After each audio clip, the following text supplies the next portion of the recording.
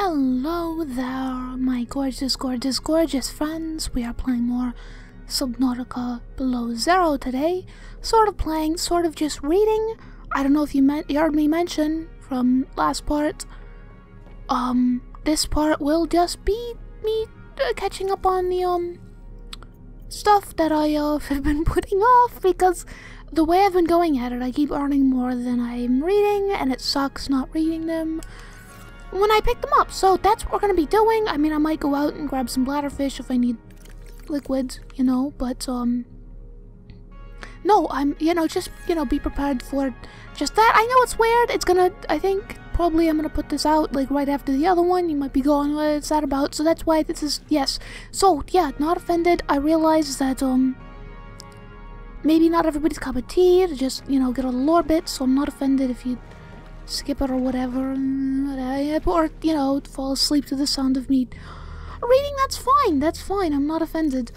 Uh, because there's a lot to read, and I understand, but I will ramble on and, um, you know, make connections or, or whatever, think about things aloud, verbally process is the word I'm looking for here, and I've got a nice cup of tea with me, and so, um, I should be, hopefully, good to read for a while.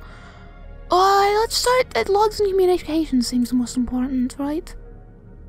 I, I want to know more about um everything Alterra's doing. That seems like the main story bit. Oh, control room, rapid depressurization. Two, weld team, and electrical. We're getting closer. I know the control room will change the process of base building. It contains all the information you need in a singular place energy delegation for low sunlight areas, build layout, structural information, etc., were leaps and bounds away from V1, which literally just rolled to the bottom of the ocean, even on flat ground. Rapid implosion is supposed to be painless. I hope that's true.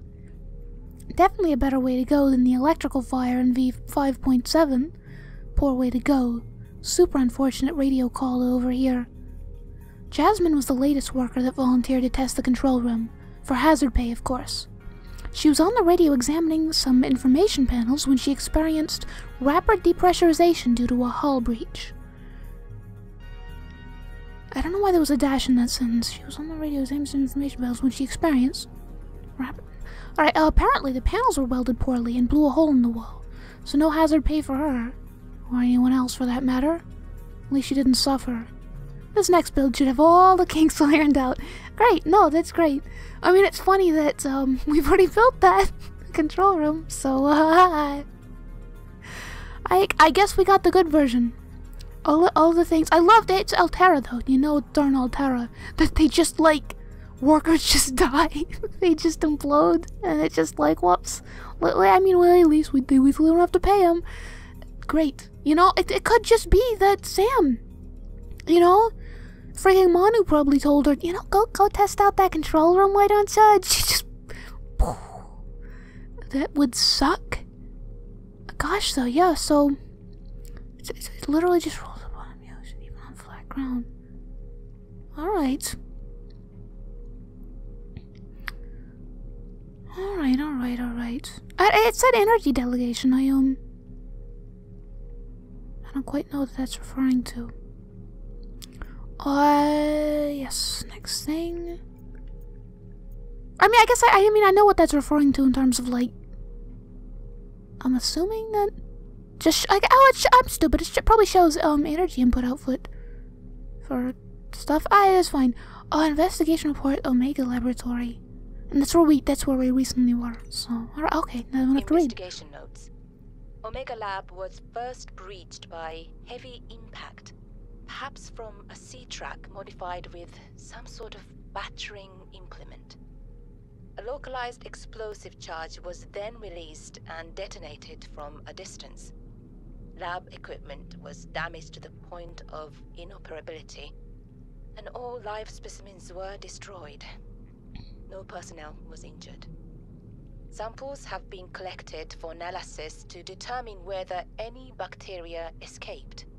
It is, however, unlikely. The heat of the charge should have boiled everything within a 10 meter radius.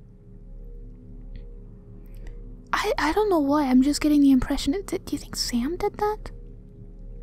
The, the thing that sticks out to me is uh, lab equipment was damaged to the point of inoperability.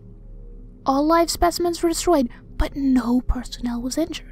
I mean, it's an inside job, obviously, because they knew they wouldn't hurt anybody. And who wouldn't want to hurt anybody but our lovely sister, who seems like a very good person? But she's busy with Alterra, and perhaps she knew, because wasn't she, um, assigned? No, she was assigned Outpost Zero.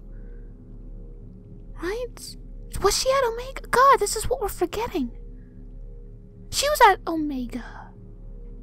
Didn't she have a room with what's her face? Danielle Omega? Is this where he found that? Oh, kill me. This is why I gotta raid things sooner. I don't remember Alexis, by the way. She seems very no nonsense. Which is fine. I, it's not, I don't have a negative connotation to that yet. But, um, no, it seems like, again, yeah, inside job. Which is what, you know, uh, you know, we, um, commented on or whatever when we got there in the first place. Interesting, though. I do wonder, because, you know, obviously, um, Sam knew that Alterra was planning on using that, like, horrible bacteria or whatever to make a weapon, and so maybe, maybe she was trying to stop that. Maybe it was, it was happening there. Report enzyme mutation study. We've studied the first Kharaa bacteria samples from the specimen. Results are promising. We were able to stimulate rapid multiplication of cells in a controlled environment, resulting in the creation of several different mutations with potentially useful applications. Think of the possibilities.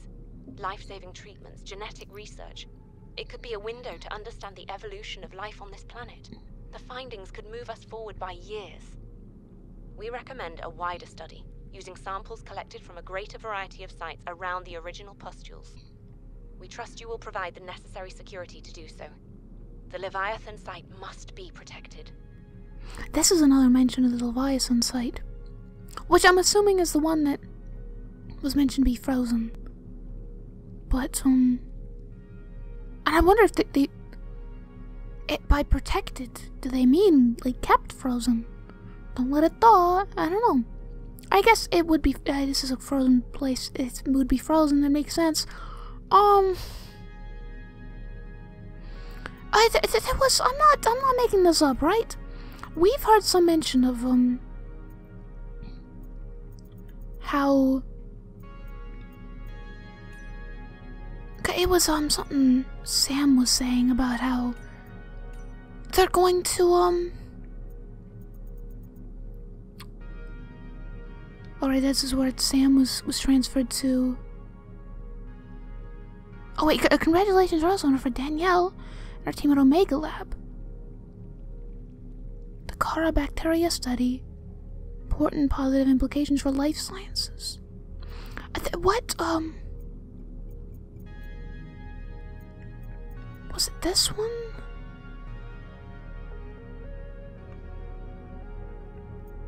who who said so? Oh god, we've got Siege Log 2 and 3, but not 1. What do you do?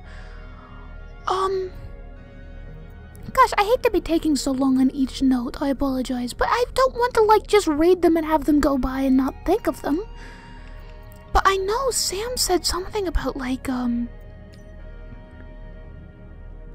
They're using the, the Kharaa to make weapons or something? I don't know if she sent it to us, though.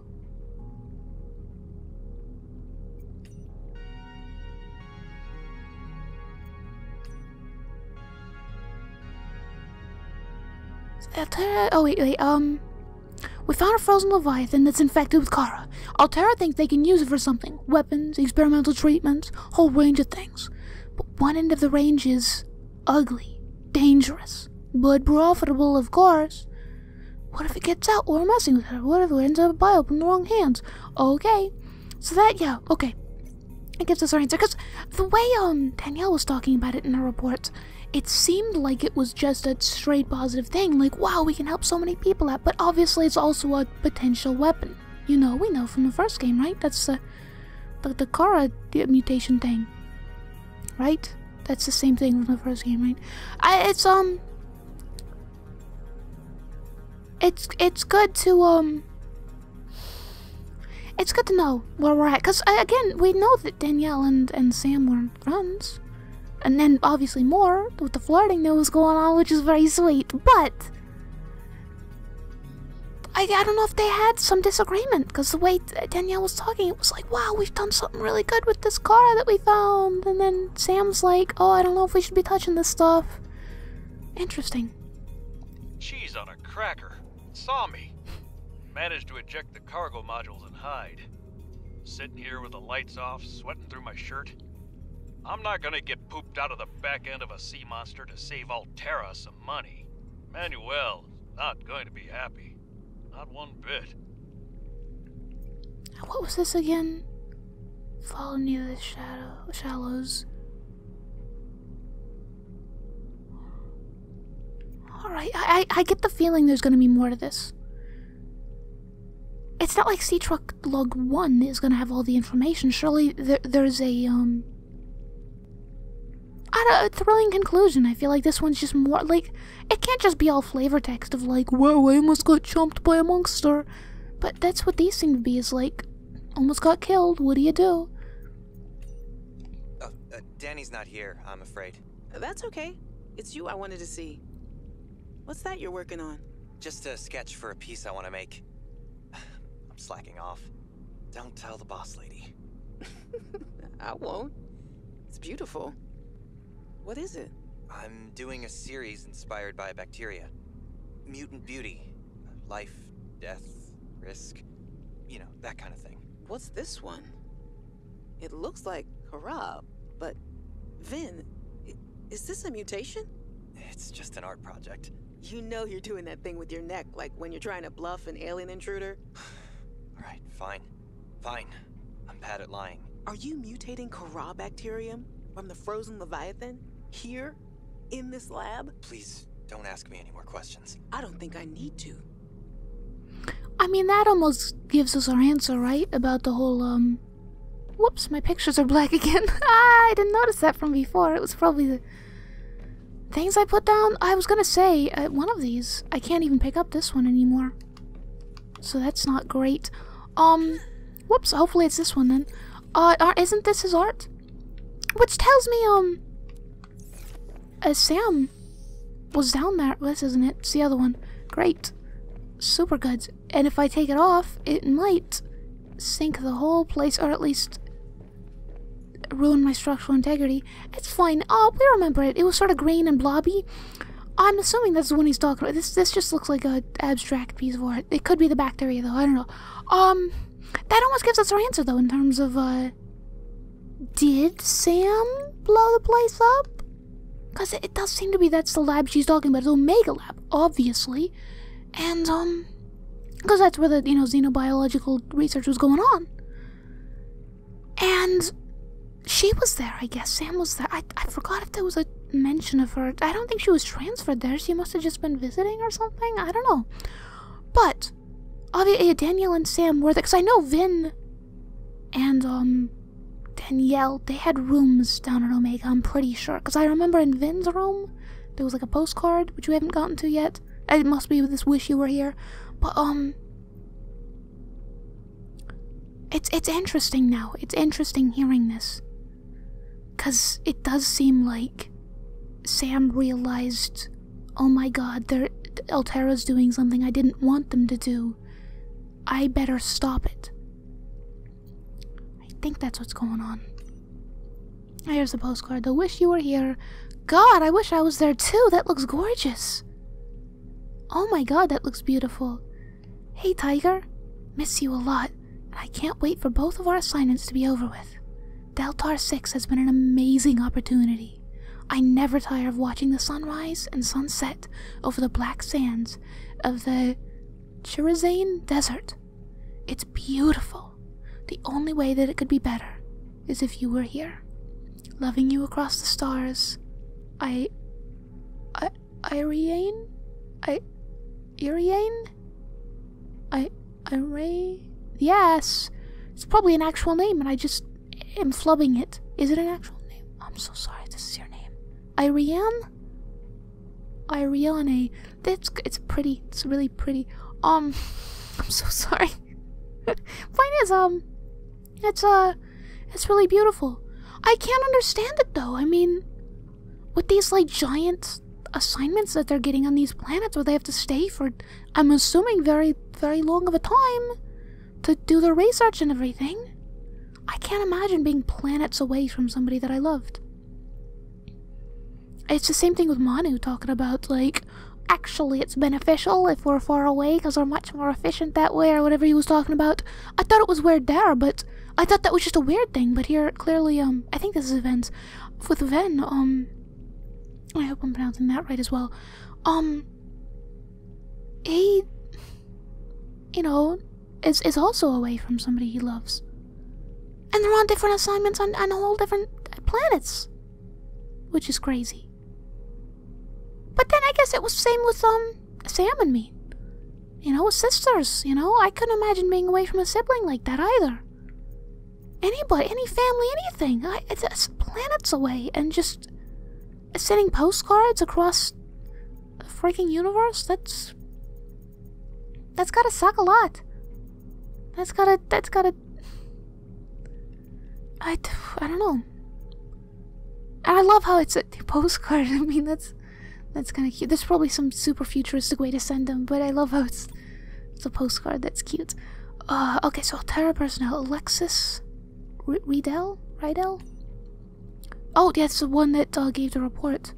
What? I just just remind myself. What was the report on? It was um.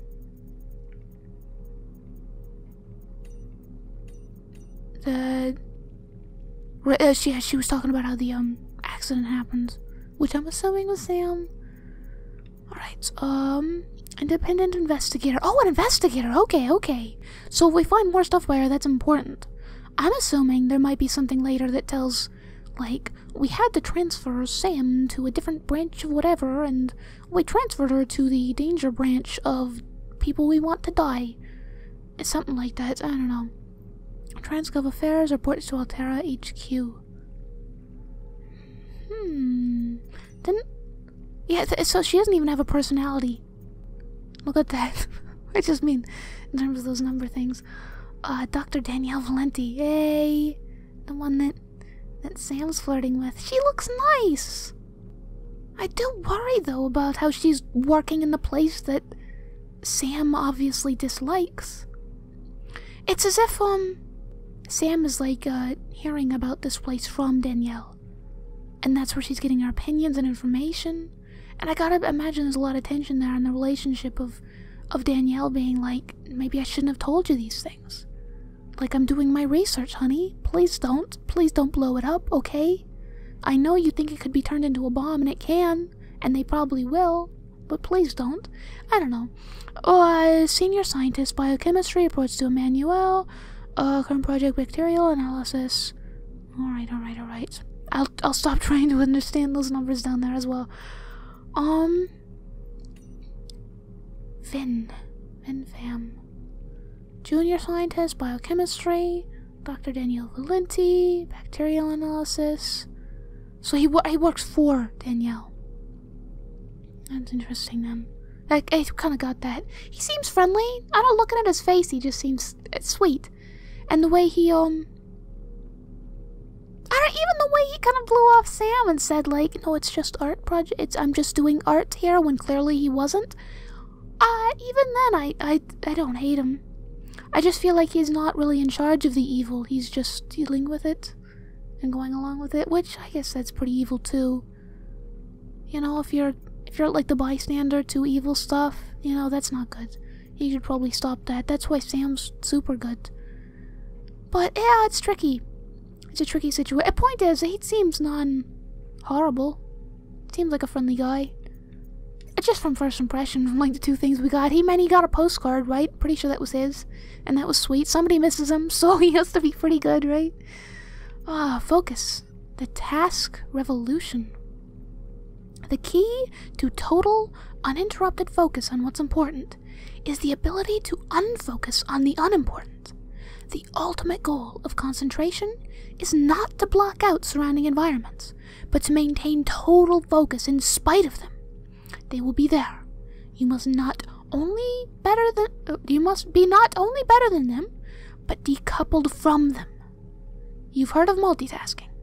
Now get ready for monotasking.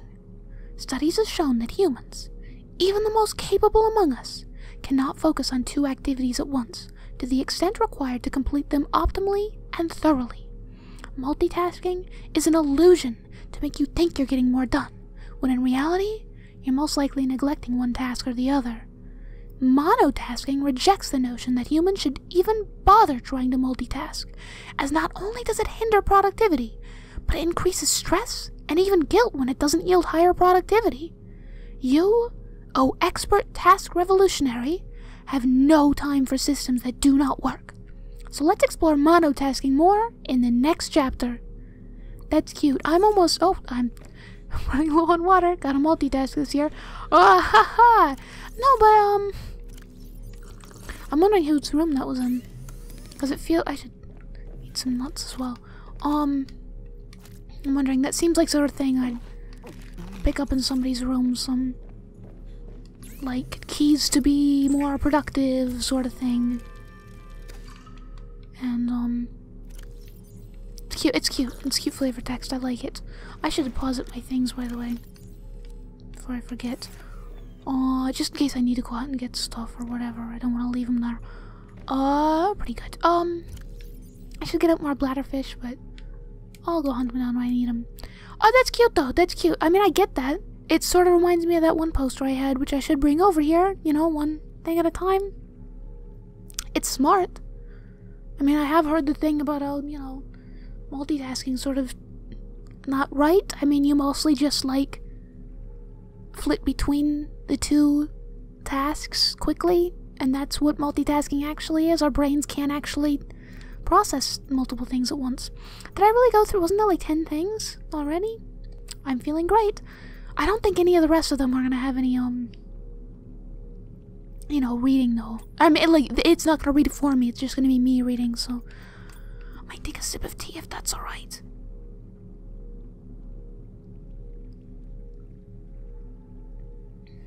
Gotta have my voice not give out or anything. That would be bad. Alright. Uh, flora, sea flora. Antenna plant. Alright, we can eat these jokers, right? This species is noteworthy for its colorful leaves, which attract the attention of nearby herbivores. The hungry fish who devour the antenna fruit will then spread the plant seeds across the biome, perpetuating its life cycle. That's cute. That's nice. It's, you know, it makes sense. Plants do that. To spread themselves like that, like dandelions and stuff. Or in this case, I mean. I mean, they don't say it, but hungry fish who devour it spread it. I mean, they kind of, you know, kind of goes out the other side, and that's how it gets spread. I'm imagining the seeds. Let's not talk about that. Blooming raindrops. Ah, these aquatic flowers grow in various biomes. The thick bioluminescent bulb that grows out the top of the stem stores nutrients when the sunlight is in short supply. They're pretty as well. I think I remember seeing those down there. Oh, look at that picture on the right as well in that diagram. It looks tall. Tall little jokers. They look precious. I'm curious though, um. I, I guess my definition of exploitable includes like all foods. Whereas the antenna plant, which I'm pretty sure I could eat, right? Isn't just, you know, sea flora. It's good thing I'm I'm looking at this. Because it does kind of say, like, it attracts the attention of nearby herbivores. That implies I can eat it, right? This one doesn't say anything about eating. I don't think I can eat this. But, I, yeah, it, it's nice. It's nice. I hope they give me more of an impression if I can use anything here. I already read this one, right? But this is harvestable fungi. I can eat these, right? Yeah, harvestable and plantable. Um, uh, thick, meaty caps. I guess that says alone that I can eat it, right? Coral bridge. Oh, right, these are the big, pretty tentacle things. Coral bridges are formed by rapidly growing coral polyps that exhibit thigmotropism, which causes growth in response to stimuli or when touching a solid object. Coral bridges grow in thick, twisted patterns that anchor onto rocks or other coral. The underside is covered in colonies of blue barnacles. And that is gorgeous little barnacles down there. I'll, I'll be honest with you.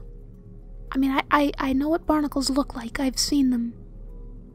I don't think in real life, but on in stuff, and like, but like what? What? What is a barnacle? Is like a barnacle alive? It's a question, isn't it? Or is it just like a growth? It's gotta be like a growth of like things. I don't know why I'm more interested in that than the actual thing. That's interesting though. So, causes growth in response to stimuli. Touching a solid object. Interesting. Ah, oh, crescent moon coral. The crescent moon coral prefers to grow vertically, similar to a vine. The branching filaments connecting to the, cre the crescent to the red stem contain tiny flagellum that pull in various microorganisms for nourishment. Blah. Shouldn't be flubbing already. I've got 33 more things to read. They're pretty though. These um things, correct me if I'm wrong, are they not named just based on whatever my like um PDA or whatever decides to name them? Right? Like the AI kind of does that, I think. Didn't that, if not in this game, it mentioned it in the first game, I think, where things were just named in a way that would make sense to me because obviously in their alien language or whoever discovered this first, it wouldn't make sense. So it's you know I'm I'm just you know crescent moon quite obviously makes sense. Crescent moon, you know we know the crescent moons. Aliens, I mean, have we seen a crescent moon yet? I don't know. And it's a cute though, cute. Uh, frost anemone. Oh my lovely, lovely snacks. Wonderful. The frost anemone grows on the underside of ice floes and icebergs. I don't know if uh, ice floes. I don't know what that means, but I'm assuming ice. Ah, uh, the anemone's tendrils are covered in thin, stringing hairs that paralyze small fish and plankton that are broken down for nutrients. These tendrils should be trimmed to effectively harvest the edible heart. Assessment carefully harvest for high nutritional value. Carefully, yeah. I just literally go right up to them and slurp them down. I go real, real careful about those guys. Alright. I'm glad there's no consequence. I mean, it'd be a pretty fun a bit of realism to have it like I don't know, stun me or something. I, I, could imagine the voice actor or whatever just kind of like uh, uh, mumbling out some words like as if their tongue was paralyzed or something, like and numb from eating something like that, like basically swallowing a jellyfish, you know, because that's what it sort of looks like now like I, I could convince myself they were delicious, but now I'm a little, little wary. I still hope I can plant them for sure, but I, it doesn't seem like I can if they grow on undersides of things. Green Turnian? Which doesn't look green to me. Green Turnians benefit from the lily pad life cycle. They tend to anchor themselves on lily pad roots and near fallen lily pads and use the material as nutrients. They look cute. They sort of look like, um, eggs. You know, like, like, bro, like, a, there's like a yolk. They look like they have a little yolk on top. Still though, I, here's the thing, you know, like, if, if, like what I said, um, things are named based off what they look like to me, and not what they were, like, originally called, um, if that's making any sense at all what I'm saying, then why is this called that? Why is it called a Green Turnian? Maybe there's something I don't know about it that is making it like that, but in from my perspective, I don't see a part. Po part. Point. Sorry. Hardy cave bush. A common reddish purple species which grows well on rocky terrain. Sort of boring, but, uh, you know, necessary to, to look, you know, lively in those places. Kelproot. Contrary to its name, the visible aspect of the kelp root is a thick, twisted stem. The root system anchors deep into the rocky walls of the cave. Some kelp roots grow a pustule along that stem, which are formed by the plant slowly ejecting out toxic materials that are absorbed by the extensive root system. Harvestable for resources used in fabrication. That's, yeah, those are little, like, pus- pustule things. Alright. I don't understand, um. The name exactly? Contrary to its name? Oh, maybe instead of a It's not a root. It's a stem. The root says Hey, I'm stupid. Yeah, the root says Okay, so it's. Then why didn't they call it kelp stem? I guess it's. It's, it's, it's again, though, if. The lore is saying that these things are, um. You know. Named based off of whatever my AI thing wants to name them then surely there should be no contrary to its name sort of objects. But I shouldn't be too nitpicky, I apologize. Luna plant. The Luna plant grows in shallow water. Branches grow off of the main stem and create irregular rudimentary chambers. If one branch dies or is destroyed, the other branch's chambers will utilize the nutrients left behind. Eventually, a new chamber will grow in the empty space. That's cute. That's it. Almost um reminds me of like a miniature uh, lily pads, because that's obviously what the lily pads do. They break down, and then the other stuff feeds off of them, and it helps others grow. You know, it's kind of cute. I like how they're explaining, like the nutrient stuff, or how they spread, or how they um you know yeah propagate and everything. You know, it makes sense for um. It's just I that that realism point of view. I might um. Is this is this for water yet? Close, but no. 95, alright. Oh, um I just grabbed some bladderfish. But no, I I mean I know I've said this about a billion times over and I apologize for um you know, repeating myself again and again on it, but I do really quite like it when um the game like explains like the minor details like that. I know it probably doesn't matter to um to everybody. But I don't know. I um Woof. Ah, woof. Ah, no, no, no, no. Oh my god. Oh god, I thought I was dead. Oh god, I thought I was dead. Oh, this is supposed to just be a sleepy, nice little part. I'm so sorry. I'm so sorry. Oh, I wasn't supposed to have something that exciting happen. I apologize. You know, just like, eh, take a nap, it's whatever. It'll be fine. We'll have nothing scary go on. And then I just get nearly eaten by a squid shark. This is great. Bladderfish? Oh, they're not a bladderfish. I'm grabbing other guys too, because I figure, um, my bioreactor might need them, and I figure that's something I can think about as well, right? I forgot. I think I remember it, um, lo- looking a little low, perhaps? Fudge, stop! Kill me, I'll just go up. I swear I saw another thing, but I don't even care. I'm just gonna eat a bunch of nuts to get my health back. Oh, I'm so sorry. I'm so, so sorry. Wouldn't you just know something like that would happen, huh? No, but uh, uh, uh, uh, go back to the boring point that's uh, more sleep-inducing. Um, I'm happy that the game has explanations for things. I like, um, you know, knowing about animals. It's, um, they're interesting. I like, uh, you know, animal facts like that. Like, the, the, the world having a, a, a purpose and a point, you know? I mean, not just like fictional in this case, but like the real world as well. You know, it just, it, um, I don't know where I'm trying to go with this. I like it. I like it. I think too many games have like creatures that don't look as if they should be in the environment they're in, or um, oh yeah, this is empty. Um, or um, you know, oh, that's another um. Look at that. Is that water? Kind of shimmery. That's nice. Another feature that new new addition. But it's another thing, and I've I know I've said this before as well.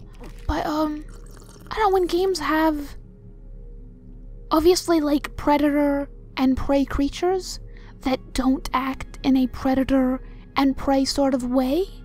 You know, like you you walk out in like Skyrim and like the saber cat, the bandit, the skeleton, and the dragon all join forces to kill you.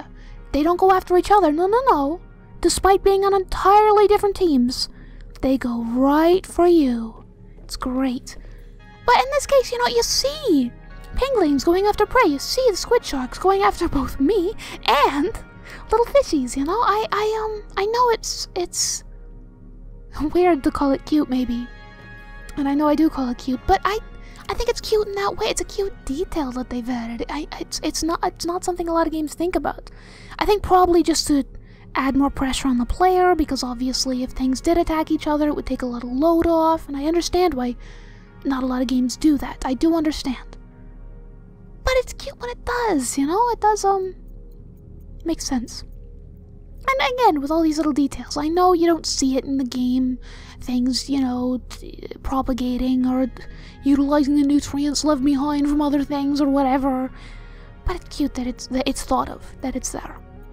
And you oxygen plants. Oh, our lovely, lovely pumpkin guy, huh?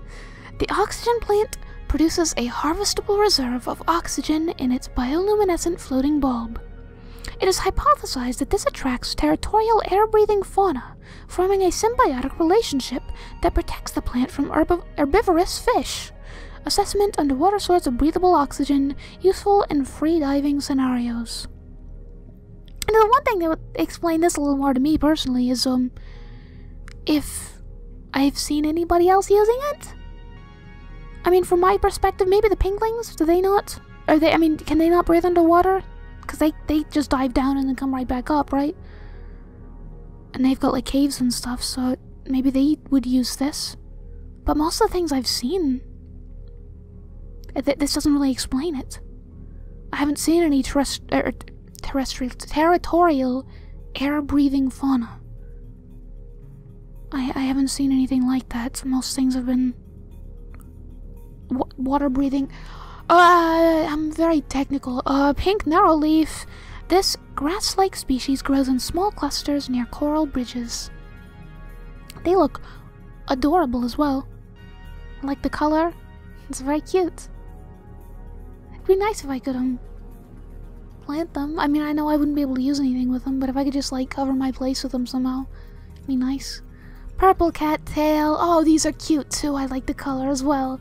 Purple cattails grow in small underwater clusters in particularly fertile regions along the seabed. Long, flat leaves allow the plant to efficiently absorb sunlight at depth. Its striking coloration, caused by the pigment anthocyanin, is paired with high levels of poisonous phenols, which discourage herbivorous fish from grazing on them. It's good to know. Again, that, you know, it's an explanation as to why they're, you know, surviving next to other things. You know, why the fish aren't picking them apart or something. Oh, they're so pretty too. That's so pretty. I just, it's, it's so, um, intriguing to me to get, uh, explanations for everything, you know? It's not just like, oh, this, this plant looks freaking crazy, isn't it? It's like, oh, wow, th- this is why it's colored this way. This is why it's, they, I don't even know if that's real word. It's anthocyanin. Could be. I, I don't know. But just, it's nice. I like it. Radiant sieve coral. This light emitting plant is reminiscent of a sieve or colander. That's why it's called that. See, that's why it's gotta be why things are named that way. But, um, or maybe, maybe, um, other people. Maybe, um, I'm getting my information from, you know, Al- Alterra that that you know obviously he's done a lot of research here now because they could have come by and named everything right? I don't know. Um that's yeah i like this thing too. I wish it had more information but like what why does it emit light but that's it's th- that's the thing that makes everything look pretty and i don't even mind it. Ragged pitcher plant. The ragged pitcher plant is the only known species of predatory underwater plant on 4546b. What? What? It grows on mineral rich hydrothermal deposits. The bowl shaped pitcher produces a concentrated brine that pools inside due to its high density. When small organisms get too close, they are stunned, causing them to sink into the pitcher where they are dissolved and absorbed by the plant. I am now very pissed that this is the only known species of predatory underwater plant. Cause how cool would it have been to like swim near a plant that looks like this, but is more my size, you know? Cause I think these are probably on the smaller side still. And like be like, wow, what's in there? What's that shiny stuff? And then like my screen goes dark and then I get sucked in there and chomped on by a plant. Like that would be amazing. That would be really cool. I know um pitcher. Aren't pitcher plants a thing? Like I'm pretty sure I've seen that. I don't know if the, I don't know if it's a similar. I don't think it's a similar like predatory thing, but I think they like some liquid or something collects or, or something like that. So it's sort of it's sort of realistic. Not underwater. They're not underwater though. I'm, I don't think they're just a plant. Oh, but they're pretty though. I like that. I like the um. Again, just that it makes sense. Like it's plausible. It's probably because I'm an idiot and I don't know enough about biology and um er herbology. What, what do you call it? this is why I'm stupid.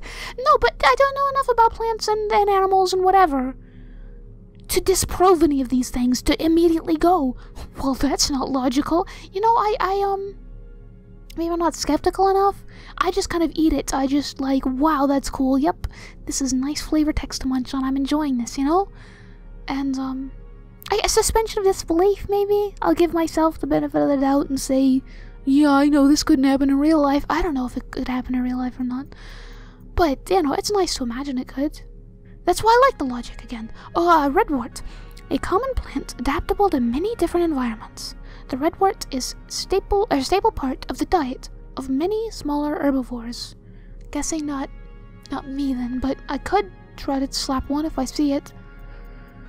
Um Scaly maw anemone. The scaly maw anemone prefers and its maw is mouth, right? Prefers shallow water and ample exposure to sunlight, and exists in a symbiotic relationship with a species of vibrant algae that live atop the anemone's trunk. These algae thrive in the sun and create a thin, scaly bacterial mat around the structure of the anemone as they feed on other microorganisms that filter through the anemone's water space. Alright, I mean, it's pretty.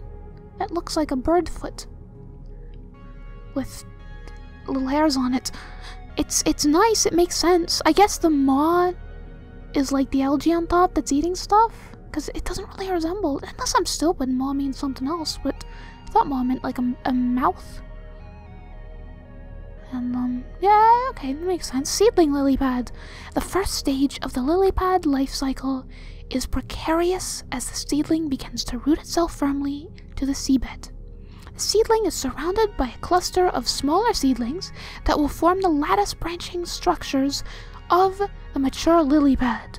Seedling lily pads require rich soil atop bedrock and constant exposure to sunlight. Which is another reason I like my place for what it is. Because it has, um, sunlight, you know? There's no, uh,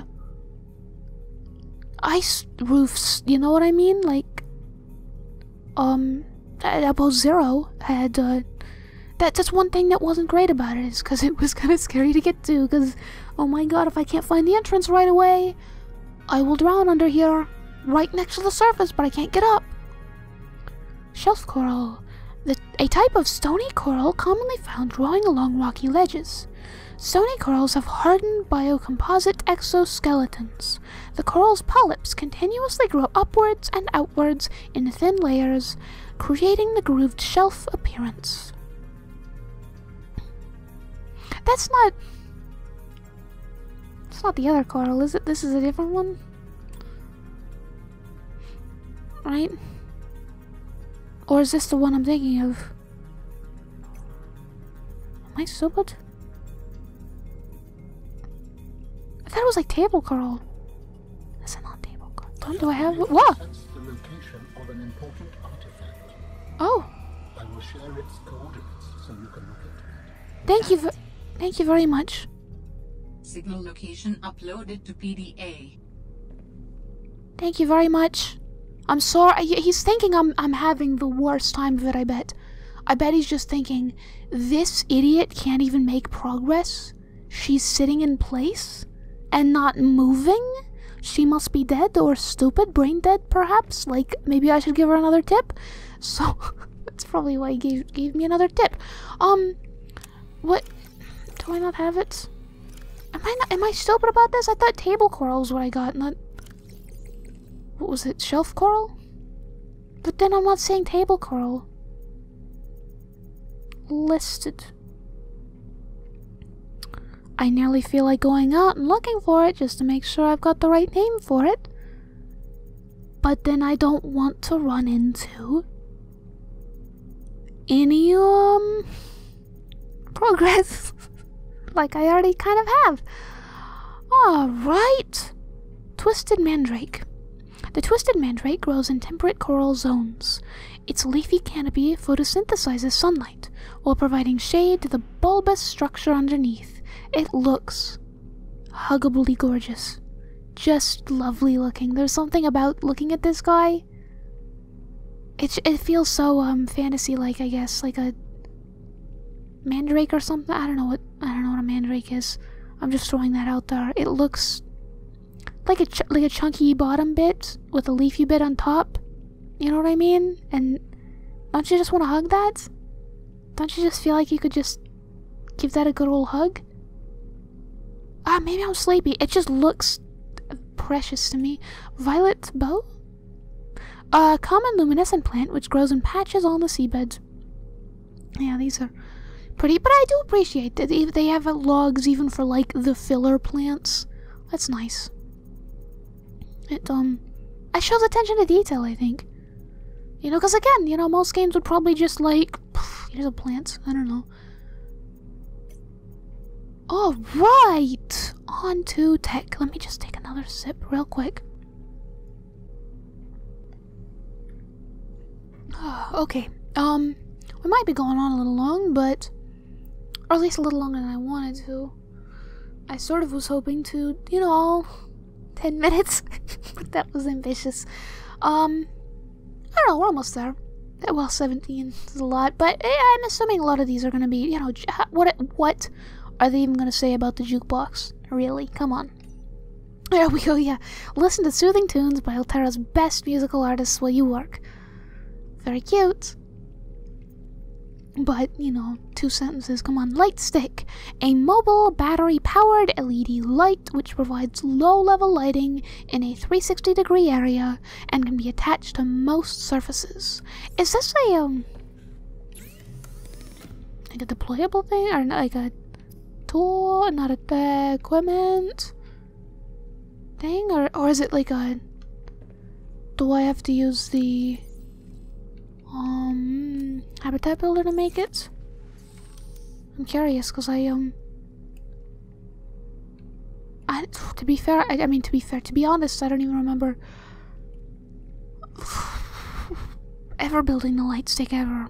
I'm not even seeing it here. So it's not this. What is it then? Is it a deployable thing? Equipment. It's not here. Tools. There's a flare. Oh, there it's lights right there. Deployable lighting. So it does. It requires a battery. But still, if it's easy to pick back up again, maybe it's nice. But then I got a flashlight. I don't know. I um. It seems nice. There's a lot of times where it's like the lighting's not great here, but you know, when am I ever gonna stay in a place for like too long of a time that I'm gonna need lighting like that? You know. I mean, for me, it's just uh get in, get out for a lot of places. Alrighty, um, mineral detector. This little wiggly joker. Using a complex blend of electromagnetic field transmission and beta decay detection, the mineral detector is capable of identifying nearby resources and approximating distance. Two antennae emit an advanced pattern of waves to detect specific minerals for mining. An ultra bright display visually communicates distance to the target resource. Proximity alarms add an extra layer of information for finite spatial positioning. Yeah. all that to say, you know, you're probably gonna want to know at least the region of where the mineral is before you use it. I'm guessing it could cut down on time though. And I'm curious if it can detect um like titanium deposits or whatever. I, it's it's a um efficiency item for sure. And um I don't feel yet I'm at that stage. I feel like I'm still at the learning to swim stage as opposed to the yeah, yeah, I'll go out looking for some copper right now stage. You know? Cuz maybe this would be good for if I've already kind of um like sweep the a place for materials and and just need a couple more you know from it and but then a scanner that is fine uh, habitat installations bulkhead door the bulkhead door is designed to separate compartments while reinforcing structural integrity with its solid titanium frame. The door can be opened and closed to seal off compartments in the event of fire or flooding or simply for privacy. Okay, that's worrisome. I am worried. I am now. I am now full of worry. What? Fire or flooding? I didn't know fire or flooding could happen. Is that what happens when structural integrity goes bad? Cause I don't like that. Maybe I should build some bulkheads so like all my plants don't go up in flames or something. Like I'm now remembering um what was it Alterra saying uh blah blah blah control room blah blah blah rapid implosion blah blah blah. Definitely a better way to go than the electrical fire in version 5.7 so like excuse me? Should i seal off my control room? I don't like hearing that. I don't like hearing that. Uh well, control room's next. Uh, the control room is an essential part of outpost engineering, created in response to environments with limited energy generation options. Centrally located 3D console provides an overview of current base layout. Interactive projection toggles power in individual rooms for finite energy control. Oh, that's what they mean by, um, controlling energy. That's really nice too, then. So then, if I wanted to, like, hey, scanner room, can you please stop it? I could do that. That's nice. That's really nice. Because obviously, you know, I think I'm dealing with, like, a little too little power. You know, I, I still have to have my bioreactor. It's running out. So clearly, I'm, I'm chomping on more than I've got. And if I build more stuff, it'll be even worse. I might have to build another solar panel, to be honest, just, just so I can, you know, balance out. But this will be great. That's nice. That's another, uh, another nice thing it does. Uh, did I, um, did I read all that? Uh, interactive projection tells power in individual room for energy control. Detailed wall-mounted display audits and discloses hull stability and energy consumption. Customizing station controls identifying base details, including name and exterior colors. Atomic clock reports pinpoint accurate lo local time. Very cute. Very, very cute. I like that a lot. That's nice. That's because I was thinking, you know, it, it was nice to color my place. It's nice to get a more good idea of the structural integrity and energy usage and whatever. But to be able to turn off stuff, that's that's nice. Exterior grow beds are the best thing ever. Advanced synthetic soils allow this grow bed to support a huge variety and quantity of alien plant life, and it can be installed anywhere on land or underwater where there is space. Loveliness. Loveliness, there's no more to say about it, really. Floodlight. The standard issue floodlight is designed to focus a bright beam of light in a single direction, useful in all kinds of industrial and emergency operations. Functions in all known environments.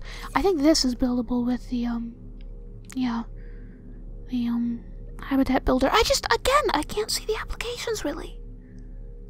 Like, it'd be one thing if this was like a, um, you know, one of those games where you can, um, actually, like, terraform and uh, destroy the environment because then I could see like whoa there's a big node of stuff there let me mine here for a while and drill into the ground but in this it's like whoop I see a little block of titanium there. Bink bink pick it up. Go on my merry way. You know when am I gonna need a floodlight? When am I gonna need that? Maybe there's gonna be like a, a significant amount of darkness later on. I didn't even remember in the first game there being that much dark places. But then I do remember in the first game just Sometimes I got to some places and just turned right back around. No, thank you. So potentially there was a lot of dark stuff and I just didn't see it. I um I don't know, I don't know I don't know quite know the point of that. Um interior grow bed. Designed for use exclusively inside regulated habitat modules, the interior grow bed is more compact than the outdoor version and features a hydroponic nutrient delivery system. That's great to know about I mean, it, it's nice that I don't have to water it in the hydroponic nutrient delivery systems. It's, I'm glad for future stuff. Again, it'd be fun, realism with uh, like having to water it every so often, but have it's almost cheap having um like uh, plants whenever I want them. Just chomp them down, eat them. They're growing always. Especially, God, I'm stuck. Am I stuck? Gosh, I was stuck on the floor. Um, I'd say, uh, you know, especially stuff that regrows like this. I mean, it's basically solving the food problem for me entirely. It's water too, almost, you know, just eat a couple extra and there you go. It's very, very, very useful in a way that I feel like, um, is weird in a survival game. I feel like most of them go, you know, actually, if you want, like, plantable food that's sustainable, like, either you're gonna have a loss of seeds after a while, like, you're gonna harvest it gives you like one seed when you have to have three to plant it, and then you're screwed. Or you have to water it. And then like replant it all as well. Why not? And then the seed things, well, you know, on top of that. You know, it's a lot of maintenance, a lot of um like a headache of a time. It's not uh, very easy of a thing. And it's almost like, okay, might as well go out and forage, you know, might as well, you know, get other sources of food. But in this case, it's like, screw all fish life now. Let me just eat shrub nuts. You know what I mean? It's so efficient. And the fact that it only requires titanium to build a planter, and then one of the shrub nuts, put them in there, and then I got a food source. You know, it's it's crazy nice in a way that um. I mean, great that I haven't played too many survival games, but you know, most survival games aren't as nice, as far as I'm aware. Oh, anywho. Um, all that to say, I'm very thankful for you, Interior Grow Bed. Thank you for that. Modification station. Can I build this? I should build this if I can. I've got the thing for it, so maybe I... Oh, uh, modification station. Uh, where the standard uh, fabricator atomically rearranges raw materials to form complex devices. The mod station is able to combine complex devices to enhance their function. Most industrial vessels are fitted with a complement of equipment modification stations, which enable engineers to adapt their tools on the fly. Most industrial vessels are fitted with a complement of equipment modification stations. Alright, not this place though. I, I, I, guess I gotta build one. It's saying most places have them. Why don't you get one, Joker? To conserve hard drive space, the modification station is excluded by default from most personal emergency. Yeah, yeah, yeah personal emergency blueprint libraries. However, extreme environments such as ocean and desert class planets may necessitate the adaptation of basic survival tools for unanticipated applications. For this reason, access to a mod station is always recommended. Yeah, there we go. That's why that explains it. Um so do I have that? Cause I swear if I had that I should have been building it already, right? Why haven't I been, you know? Oh, is it a is it a habitat builder kind of thing? Oh, there it is. It must be, yeah. Um. Uh, yes, that makes sense. It's like a, it's like a thing on the floor. Uh, computer chip, titanium, diamond, diamond. That's why we can't build it. Still, that'd be nice though, because I know that would give us um access to. Didn't we get um some like other? Uh, there, yeah, flippers. Yep, swim charge fins, because that's kind of nice. Those are nice, you know, because I think I think those if you have your Seaglide out, you can just use it forever, which is cool. But I know there's some other fins too, like fast ones. At least in the first game, they could probably add even more now that are really awesome. The high capacity tank would be nice as well once I get it. It's uh, nice stuff, nice stuff. But uh, again, diamond, whatever. Hopefully next part we'll get that. Planters and pots. Interior planters come in a variety of configurations and allow for most plant species to be grown in small numbers for decorative or botanical use. It's nice that they say decorative. I might have to get some nice decorative things, like those cattails I mentioned. It'd be nice to have a, a bit of um color in here. Just to liven the place up a bit. Water filtration system. The filtration system draws water unfit for human consumption from an external source, atomically splits it into its consti- constituent parts, and outputs consumable liquid water and salts while disposing of any harmful byproduct. It can be built in any compatible habitat module, but has substantial power requirements. Oh, that's what's drawing my power, isn't it? That makes sense. Okay. The Alterra water filtration system. Any liquid into pure, refreshing, pH balanced water? Yes, sir. Any liquid. That that's not a very catchy slogan, but it's very nice. That explains it a lot then. Maybe I should oh, is it have water now? I'll take it. What's weird is um I don't know if I'm just looking at the wrong part of the machine, but it says 100% or does it not say oh get out of this. It says 100% salt, right? How do I get the salt? I thought you could like harvest salt from these things. But don't know. Guess it'd be weird if it came out this part. Like one nozzle for water, one nozzle for for salt. I don't know.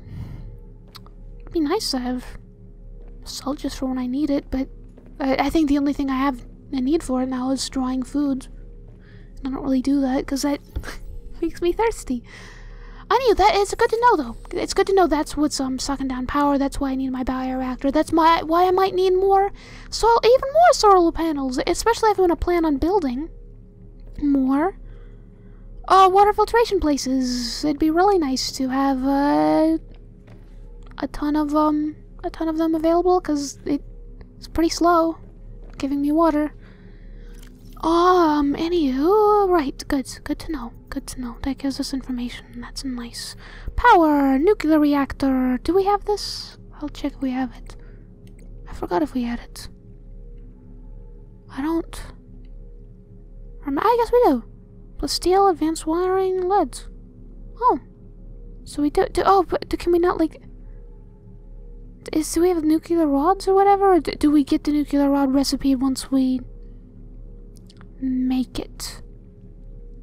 Reactor rod. Oh, use the power nuclear reactors. You're in, uraninite, and we don't we don't have those, right? We've read that before, haven't we? But we don't we don't have any. Right? It's Ryan cubes, right? Yeah. That's so that's um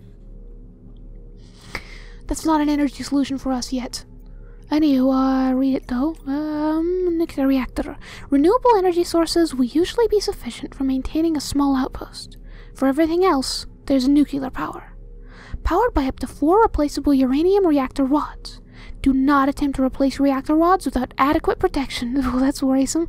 Do not attempt to overclock the reactor. Nuclear is ideal for energy, inten- uh, energy intensive operations such as self sufficient colonies supporting more than 20 people, industrial outposts operating multiple docks and heavy machinery, research stations housing live specimens.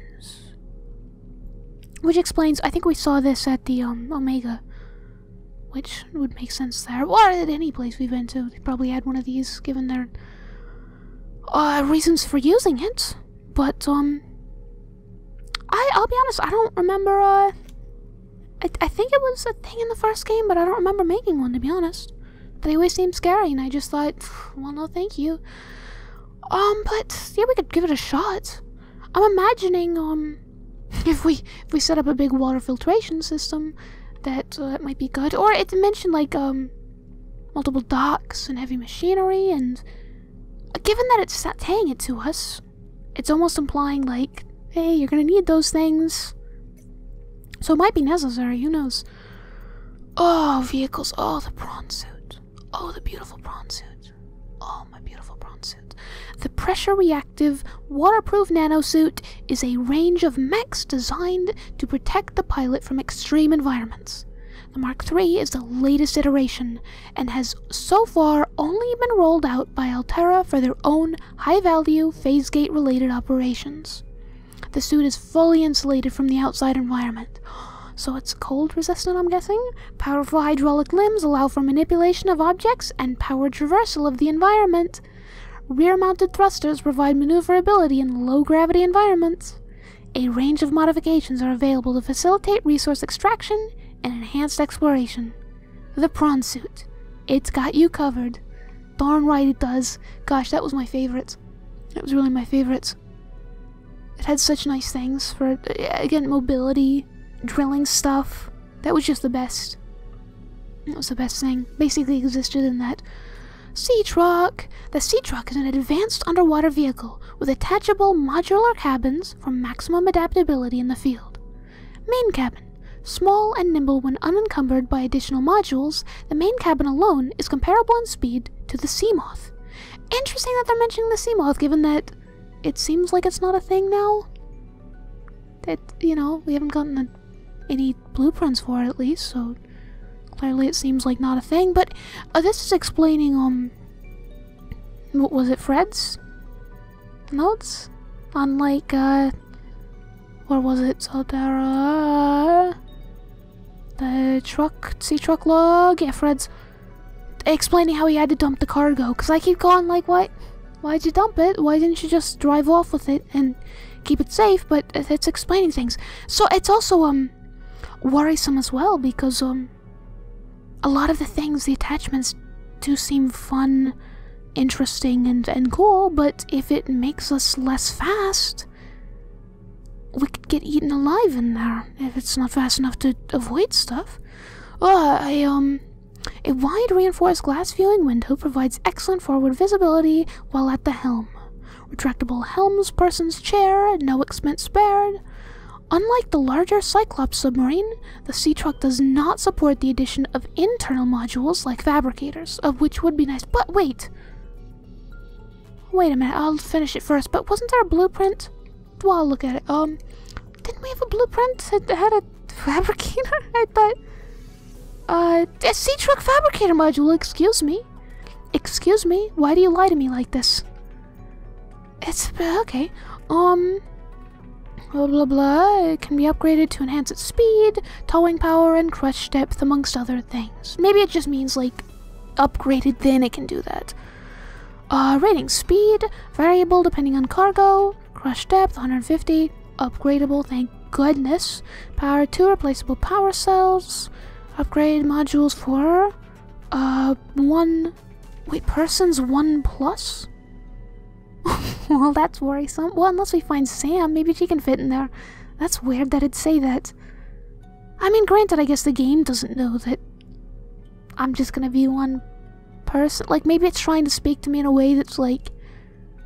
If, if anybody else was reading this and was part of Alterra or something, oh yeah, several people can fit in there probably. But because it's me, it's it's obviously just going to be one. I don't know. Oh, additional modules. Bespoke cargo modules can be attached to the rear of the main cabin, providing a range of powerful benefits.